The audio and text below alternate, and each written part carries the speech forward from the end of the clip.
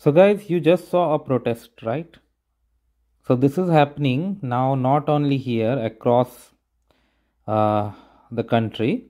I mean, I would not say that this is a protest. This is kind of demand. And this is because the real estate situation is going downward. People are terming it crash or downturn, correction, whatever. But this is a sad reality. lot of transactions are failing because property prices are going down. It's not that people are not qualifying for the mortgage. Of course they are qualifying. But the problem they are getting is appraisal. So for example these guys why they are worried? Uh, for uh, i'm just giving an example. I don't have the actual number. And this is happening in brampton where uh, they had purchased their houses from a builder uh, a pre-construction. Maybe they purchased at a higher price. For example let's say 1.5 million okay?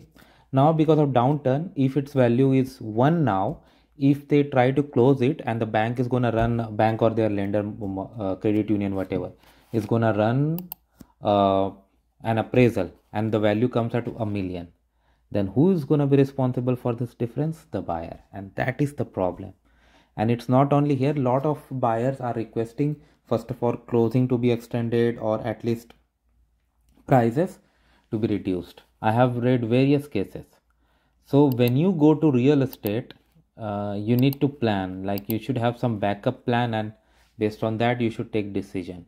Otherwise you may come up to a situation you don't really want to be. Now coming to other things as i have always said like be careful guys and uh, always protect yourself with whatever you can like in your offer there should be some protection.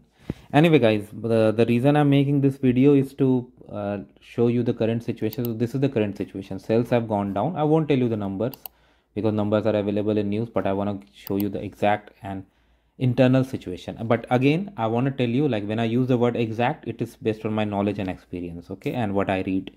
And i'm no one who is legally or any way connected to the real estate industry in any way so if you take anything out of this video you do it at your own risk. So guys uh, as i said prices are going down and transactions and the sad part is transactions once committed are failing now. So many of such cases are happening.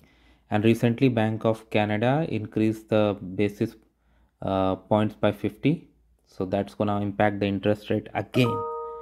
So this is gonna be like hit. This is hitting people so if they increase it more then it will be even worse. So this is what i want to tell you guys. Be careful guys. And when you do any transaction be very careful nowadays. It's very bad out there. Thanks for watching this guys. Please subscribe to the channel. Thank you